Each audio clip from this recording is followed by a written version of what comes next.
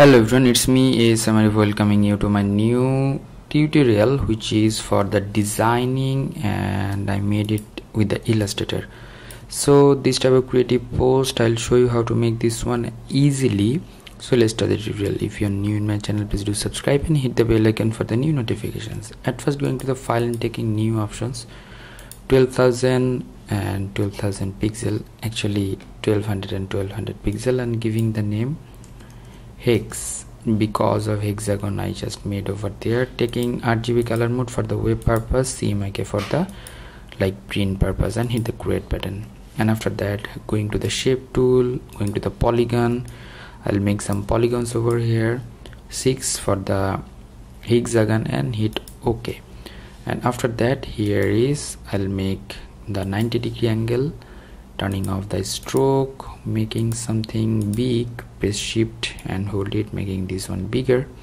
And then alter option button for the copy and copy like that. Control command D for the repetition and then controller alter alter for the copy and just make this one. So press the arrow key to match with this. Actually this one is good. Okay that's good. And again you can copy this one and you can make the shape like this. So that's good. We got this one and now going to the object and compound path and make this one because of you want to make it mask. You can change the color. I'll change this one black making this one bigger and just placing over there. Okay. If we take this one for our like preferences it will help us out what we are making over there. Okay that's good. Going to the file and going to the place options from here I got some images from unsplash.com and making this one just import and I'll make this one into the downside okay? And making this one into clipping mask. That's good. Actually that's good. So before that I can make this one copy okay? Selecting all the stuffs making this one clipping mask. And then again going to the rectangle tool making rectangle like this 1200 pixel and 1200 pixel actually we should make this one 1200 and here as well. Okay. Placing into the middle of the artboard and then selecting all the stuffs making it clipping mask. Or we can make this one like that. And the photo should be over there. Or a little bit of this yeah that's fine. And then we'll take another like uh, square shape 1200 pixel and 1200 pixel and hit ok and making this one into the downside of the layer. Okay that's good. And then going to the file and place options the image this one will embed over there into the downside making this one into the layer all the layer into the downside okay? Making into the middle that's good. And we'll down the opacity like 95 uh, percent. Or 90 percent is good. That's good. And control c and control f making this one into clipping mask and sending into the back side of the layer.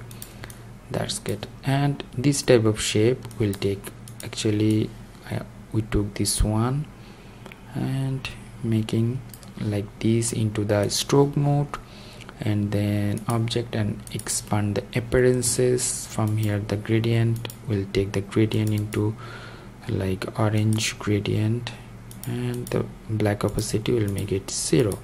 So we are getting like that. And now the main condition here uh, we'll take the shape. Actually this one is our shape so all the shape will take control C and control F and we will fill it up with the orange color and making the blending mode into the multiply control command F for the forward paste. So deleting this only. Okay that's good. And then the logo you can make this logo easily by using the hexagon making this one 90 degree and okay making this one a little bit of bigger. So P from the keyboard and this one the middle okay another portion. So P from the keyboard again and this one.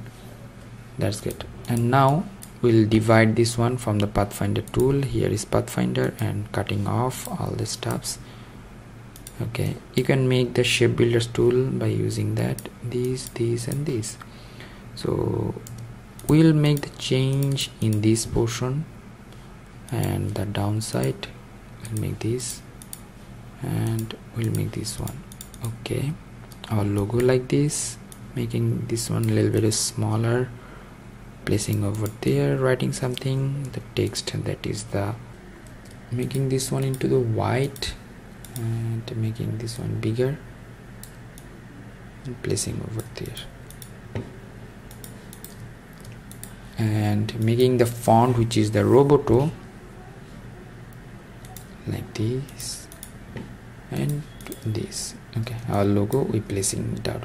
So our icon and other stuffs will take these these and these control command C control command F for the forward paste and placing over there properly. And this item should be aligned with this. Actually we should make this one into the group. And this placement should be like this. Okay that's good. And making group yeah that's good. And this one should align with this. Okay this one actually this particle should be over there. Into this portion. And here should be uh, like a hexagon. So making another hexagon. And rotating this one into 90 degree and picking color by pressing I B from the keyboard and placing over there. Actually we should place this that's the another particle. And this one is our gradient options. G from the keyboard and making the gradient like this. And all the steps will take another rectangle which is 1200 pixel 1200 pixel and making into the upper side all upper side.